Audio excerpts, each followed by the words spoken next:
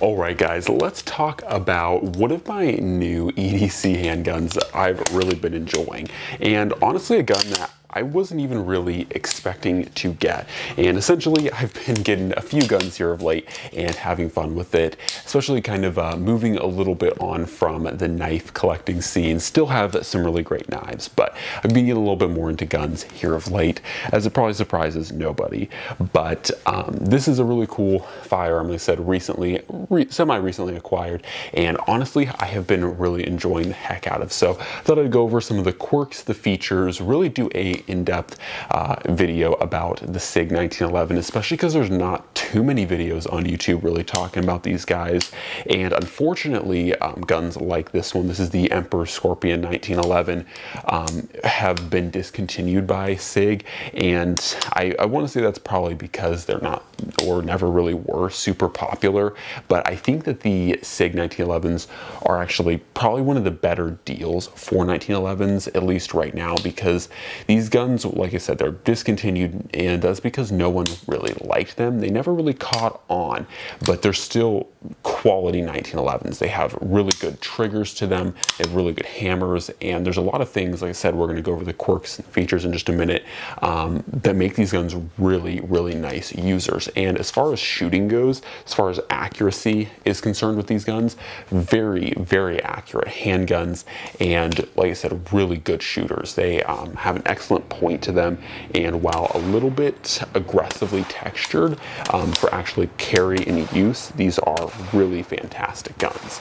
So like I said, let's go over some of the quirks and features of this one first. So um, one thing to point out, these did come in 10 mil and 45 ACP. Mine is of course in the Lord's Caliber 45 ACP.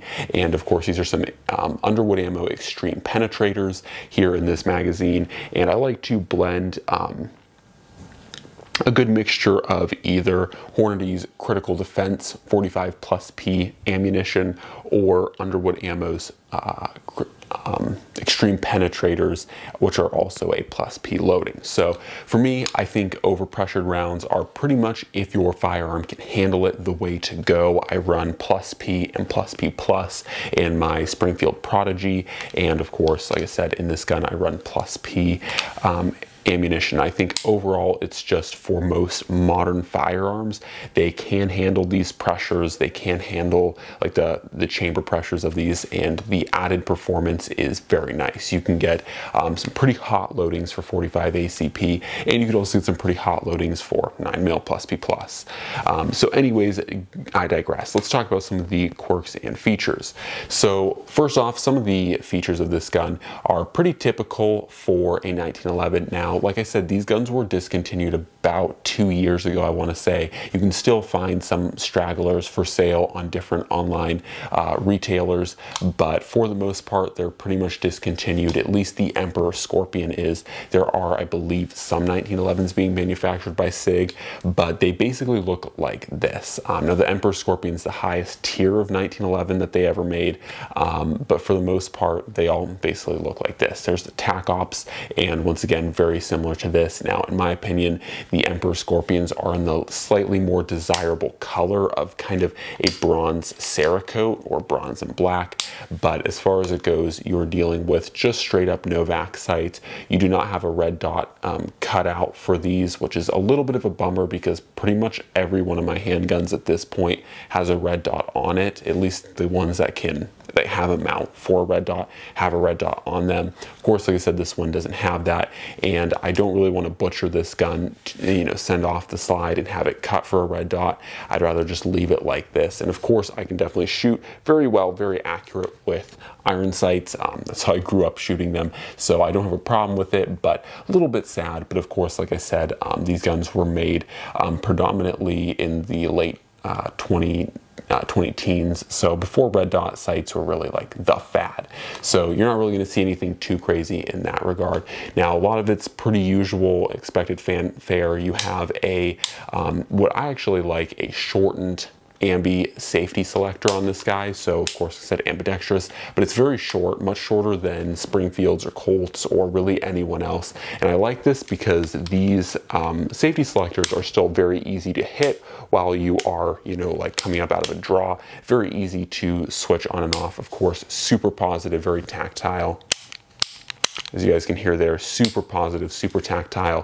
But what I like about them being short and stubby is that they, when you actually carry this in a CCW holster, um, you can see that there's not much safety there to really get snagged on anything or to act as a protrusion, stab you, hurt you, um, do anything like such. So I really do like that about these kind of uh, snubby safety um, selectors. Now on the other side, on the flip side, unlike a lot of 1911s, the SIGs actually have an extended um, slide catch here or slide release. And with this slide release, without really having to break your grip, you can effectively drop the slide or lock the slide back, whichever you're trying to do. Um, you can very effectively do that without having to break your grip. And that's something that I actually really like. And uh, SIG is actually the only one that I've seen so far um, in the 1911 space that's actually actually made a slide drop like this. And I've actually tried to purchase these slide um, these slide stops from other uh, like vendors and stuff. And of course, because these guns are discontinued, the um, slide stops or slide releases, whatever you want to call them, are unfortunately discontinued as well. So they're very hard to find, but I really like them. And it's actually a shame that these never really caught on because most of my other 1911s, you have to kind of, if you want to do it one-handed, you kind of have to break your grip like this to kind of just reach around and hit that slide release to get it to drop or to get it to lock. So I think it's a really kind of sad thing that this never really caught on because like I said, this is very excellent, very long, and very easy to hit without having to break your grip. Other things of note, um, like I said, it's very well textured. This is super aggressive G10. I want to say Hogue makes it, but it's not necessarily mentioned anywhere that who the maker of the G10 handles are. And then of course you have a super aggressive um, cut here for your fingers. Now some people I have shown this gun to, they think it's actually a little too aggressive and Sometimes I do agree this is a very aggressive grip, but the nice thing is, once again, if you're drawing this, shooting it, um, and your life depends on it, you're definitely not going to, as long as you have a decent grip on this, it's definitely not going to break out of your hand. So super aggressive texturing. Of course, your back strap as well is textured in the same way and as G10. And then the other thing to note about these grip panels um, or these uh, handles here is that they are flared and extended. So you guys can see where the frame of the 1911, just like on any other 1911 ends, and then you have these flared G10 um, kind of ramps, if you will.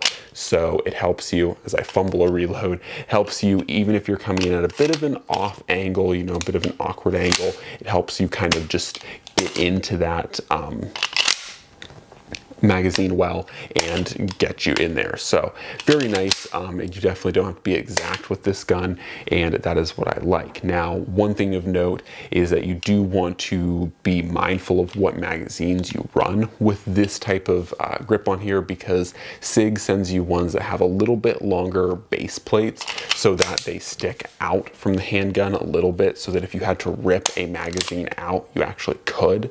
Um, but if you have a reasonably flat or if you had like like a stock 1911, you know, with that flush fitting base plate, that would definitely sink inside this magazine well because this is an extended magazine well. So if you're running any of the like Chip McCormick magazines like you should be doing, um, these magazines or the magazine base plates will work just fine. The Chip McCormick ones are long enough. So um, definitely just run the right magazines. And uh, I will say that broadly speaking with any 1911, run the right magazines because 1911s are not typically unreliable handguns so long as they're well cared for and so long as you have the right magazines. A lot of times if you go cheap on the magazines, you will pay the price. And uh, yeah, unfortunately magazines for 1911s are just basically Chip McCormick magazines or Wilson Combat. But if memory serves, Wilson Combat's magazines are just Chip McCormick magazines. So just buy those uh, anyways. Um, now, some other kind of quirks and features to the handgun. So you have a super extended uh, magazine, or not magazine, but backstrap safety. And this makes it, if you have literally any grip on this gun, um, super easy to depress. You also have a very nice flared and narrowed um, kind of beaver tail to this. So with some 1911s, it's very thick, very beaver taily, but this is very slim. Once again, this is nice because when you have this gun, in a um, holster like this, and especially if you're like me, you like to carry appendix, this is going to be the protrusion that stabs you in the gut. So having this very well rounded and um, kind of narrowed here makes it a little bit easier against the body, meaning that it can lean a little bit closer. And overall, it's it's pretty comfortable. I don't have any issues with it. I've appendix CCW this gun.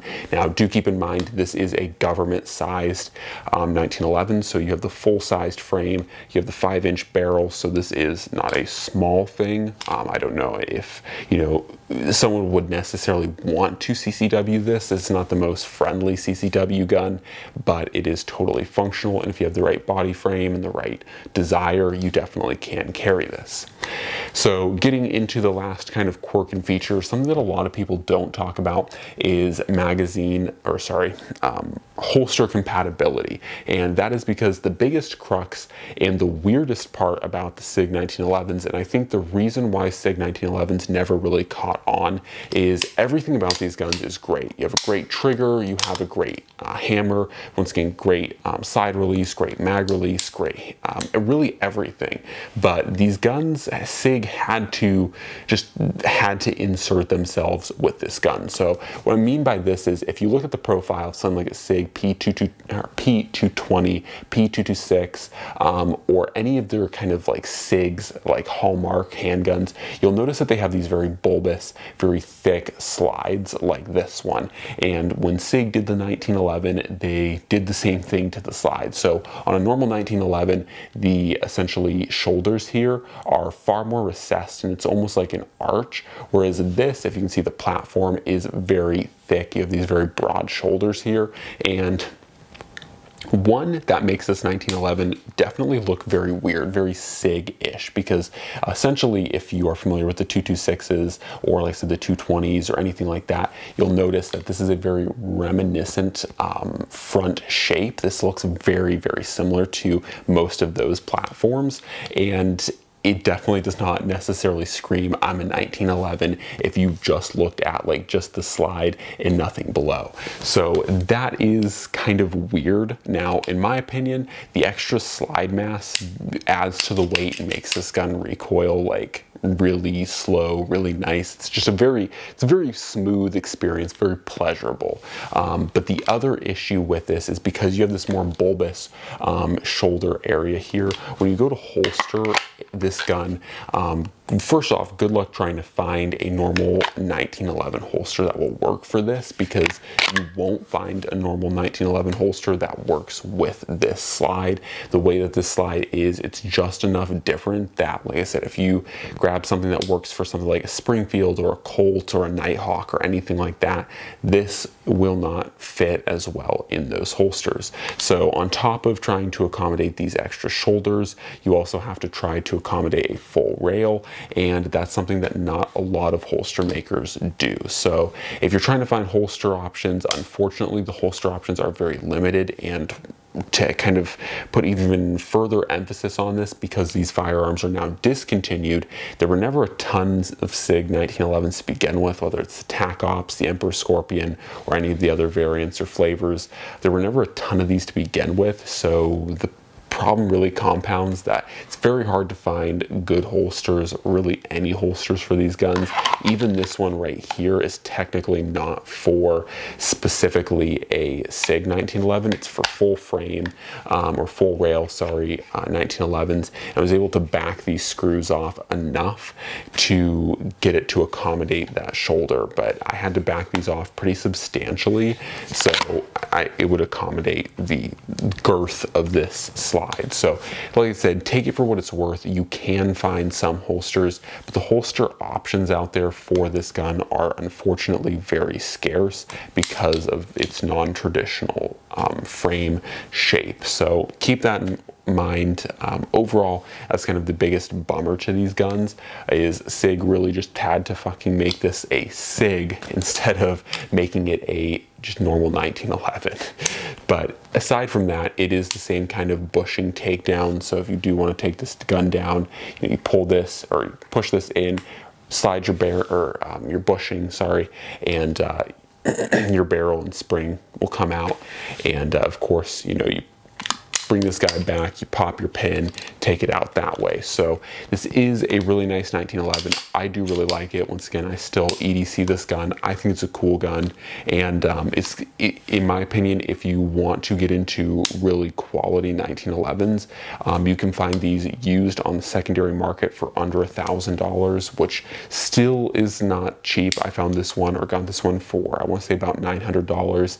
And um, by no means is that a cheap handgun or a 1911, but for the quality of what this is, this is going to be, you know, easily rivaling any of your Springfield TRPs, operators. It's going to be easily rival, rivaling any of your Colt governments um, in trigger, in weight, in size, in feel, in quality, reliability, and on and on.